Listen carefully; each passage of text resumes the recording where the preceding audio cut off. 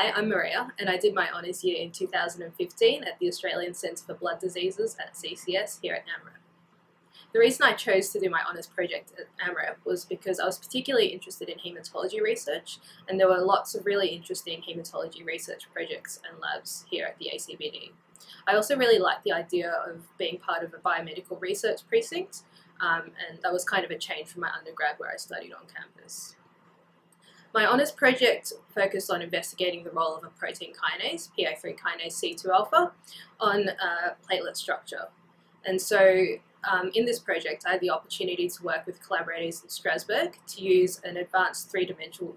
three-dimensional microscopy technique um, to look at the detailed changes in structure in platelets from mice both with and without the gene.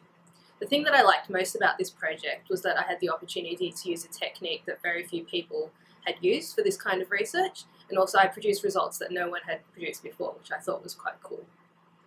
At the moment, I'm enrolled in the Combined Medicine PhD program, um, so I'm back on placement as part of my medical studies, and I'm currently writing up my thesis for my PhD, and hopefully will submit it very soon.